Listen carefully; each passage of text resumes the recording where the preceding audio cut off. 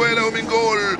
بوم حطها في الزاوية اليسرى لمرمى الحارس كوبونو مفتتحا مجال التسجيل لصالح عناصر منتخب جمهورية الكونغو. يا سلام.